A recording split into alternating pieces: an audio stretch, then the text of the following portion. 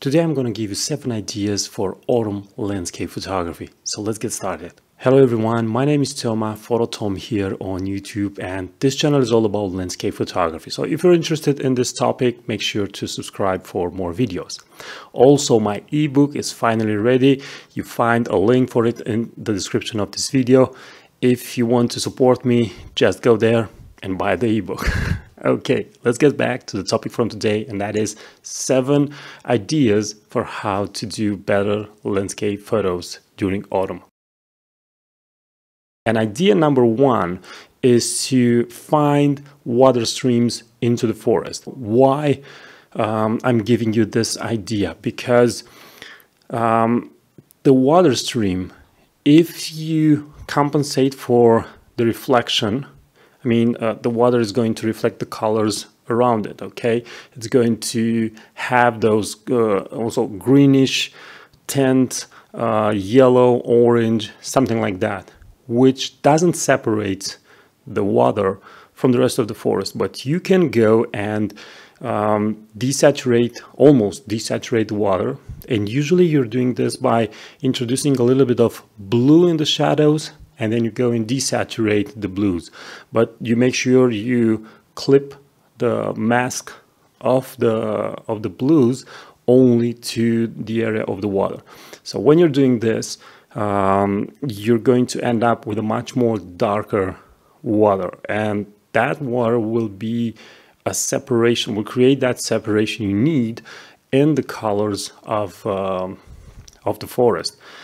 Now, there's another important item that you need to take care of, and that is having a really interesting foreground element. Now, if you're in the water, you're wearing rubber boots, you're in the water, and you find uh, interesting rocks or a rock or something that has beautiful autumn leaves on it.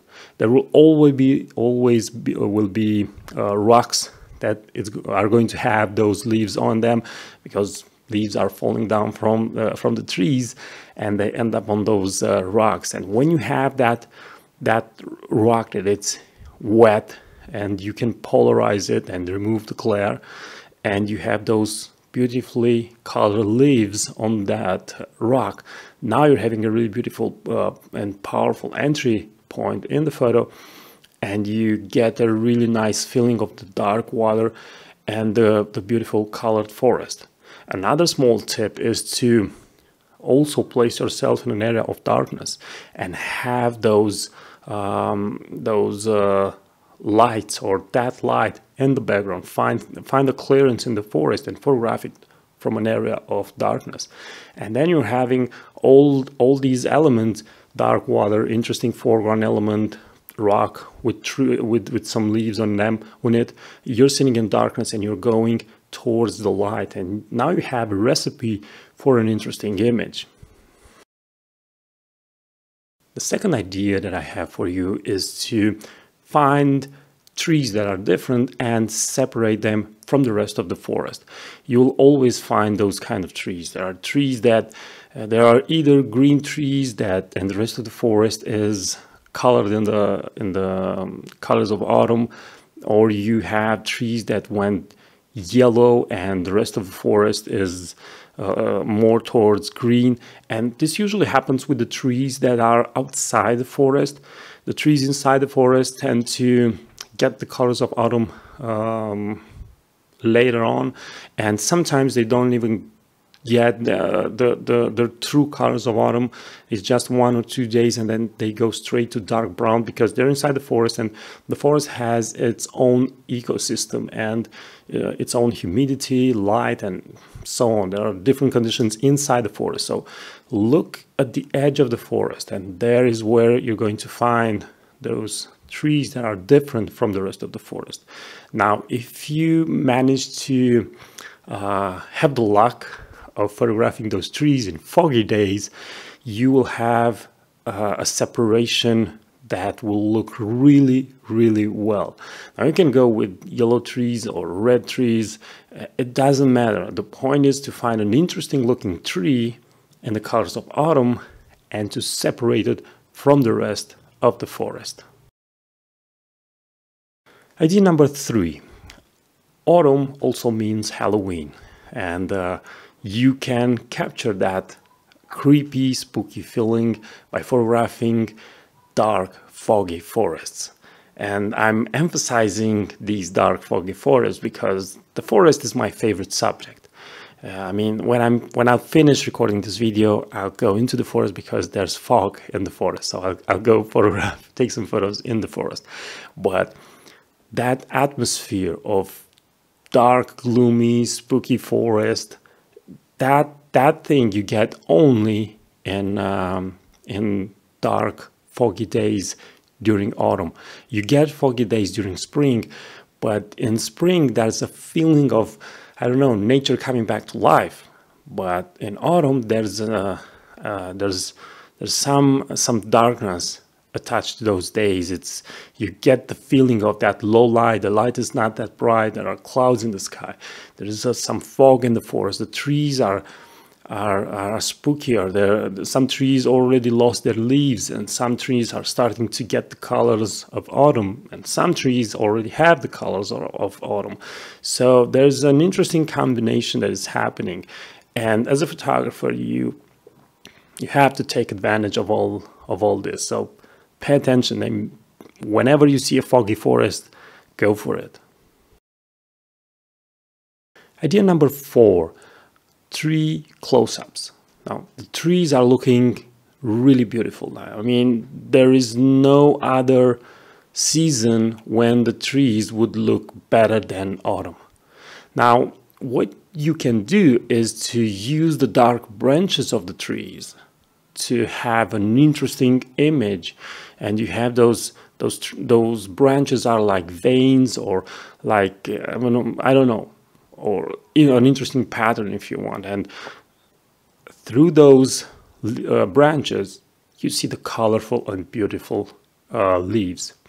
Now, these three close-ups can also be, like in this photo, for example, where you have uh, an autumn colored tree behind a pine tree. And now you have like a glow around the pine tree. So you can play with, um, with this idea of finding interesting interesting shapes inside the trees and photograph only those uh, those those intimate or taking all those intimate shots. So just just pay attention to the details. It's not always about the big picture. Sometimes it's about the small details in the trees. Idea number five is related to fog again, but also the sunlight. There are moments when there is fog in the forest and it's starting to dissipate. And if, uh, if that happens, usually it happens during a sunny day because the sun warms up uh, the atmosphere and the fog simply goes away. Um, but what you need to pay attention is the, the, the position of the sun. And when the fog is starting to dissipate, you can get rays in the forest because fog it's like let's say that's like smoke and when you want to photograph smoke and you want to see the smoke, it's got to be you, the smoke, and the source light. So photographing into the light. It's the same thing in the forest. So you're staying in the forest, you see the sun, and you're photographing into the sun because in that direction you're going to see uh, sun rays and light rays through the fog. And but remember, only when the fog starts to dissipate. And um, those are some of the most beautiful images that I've shot inside the forest. Those are dreamy images. I like, I don't know, they're, you can think of fairy tales. You think about all sorts of, uh, all, all sorts of magical things in the forest. Idea number six is to be um, at least half an hour earlier, early before sunrise in autumn and also in, during spring, it's um, the chances of having a red sky increases because of the position of the of the sun and how it how it raises. So just be there 30 minutes before sunrise, put your camera on the tripod and make sure you are paying attention to the sky, to the clouds above you because those reds look so good and there are moments when those those red clouds are going to look better than the sunrise, the actual sunrise. So pay attention uh, to those. And idea number seven is to uh, find reflections, find lakes, and uh, when the, the water surface is calm, you'll have the chance to photograph those beautiful reflections, those beautiful colors reflected in the water.